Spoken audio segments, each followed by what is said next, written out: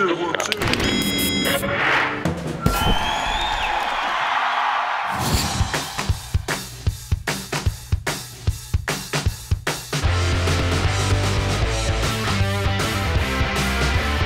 We're Red Elephant and we're in Kenmare at the minute, up at Sadhbh's house for the Red Bull bedroom jam.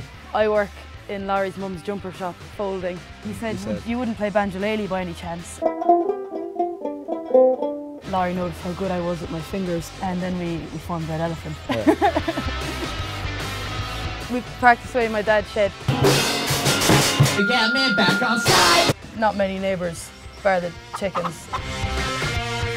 Sadhbh does drums for the more heavier stuff. You've got like some acoustic tunes and some ukulele tunes. And then I sort of play electric guitar for everything really. My bedroom share with my sister. I hope she doesn't mind us moving her bed around the place.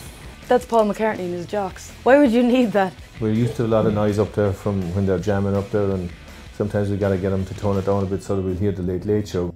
We're very proud of both Sadhbh and Laurie. They've given this 110%. Hey, Sav, nice shoes. I got the walking blues.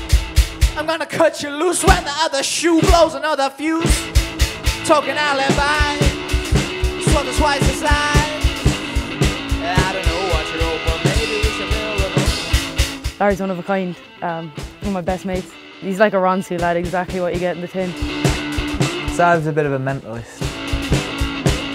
She's crazy but she's uh, she's lovely like. Hey, Laurie, nice hat. Ain't see much better than that. I'ma punch you flat, gonna steal your hat like an acrobat.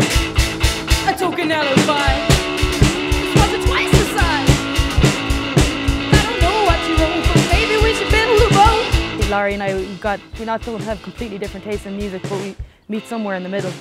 And I think that's what really complements the whole, our whole setup. Just for electric balloons into the dark, just to shock the night. Electric Balloons is actually unique in that I sat down to write it about something. Oh, just fine. I brought the, that to Laurie and uh, he said, Try doing the the ooh oohs on it and she was kind of like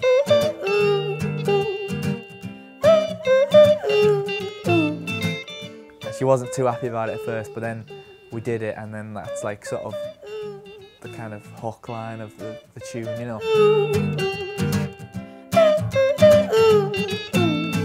it's all just very laid back and good fun, which is really what I was in it for, just for a bit of a mess. our tunes are catchy so I think that they're sort of they're festival ready I guess. Like we're sort of poppy with an edge. That's the line right there poppy with an edge